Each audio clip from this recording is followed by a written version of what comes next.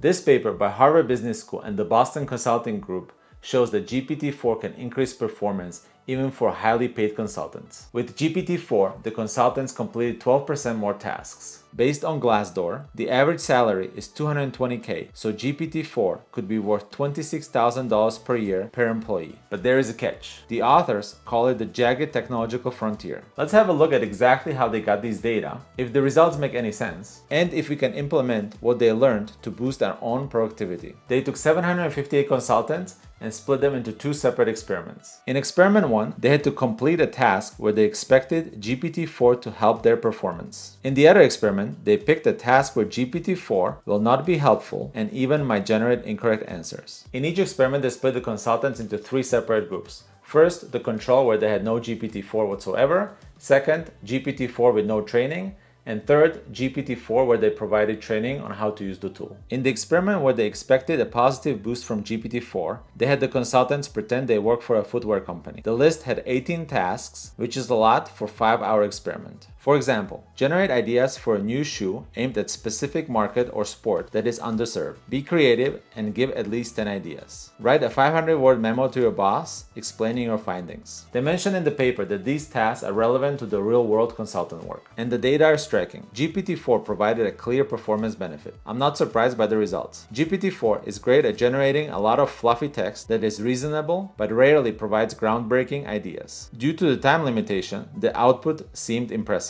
But if you own a footwear company, I sure hope that you would spend weeks on generating ideas for new shoes since it takes so many resources to bring the new shoe to the market. In the second experiment, they aimed to design a task where consultants would excel but AI would struggle. They gave the consultants an Excel spreadsheet and also some interviews with company insiders. The trick was that the interviews contained crucial insight needed to interpret the Excel data. The key metric was not amount of output but correctness. In this experiment, the consultants using GPT-4 did actually worse since they were blindly adopting the AI output without critically examining it. Ethan Mollick, one of the authors, said, People really can go on autopilot when using AI, falling asleep at the wheel and failing to notice AI mistakes. And, like other research, we also found that AI outputs, while of higher quality than that of humans, were also a bit homogeneous and samey in aggregate. And here's the punchline of the paper. The issue with GPT-4 and other large language models is that it's really hard for humans to figure out when AI is correct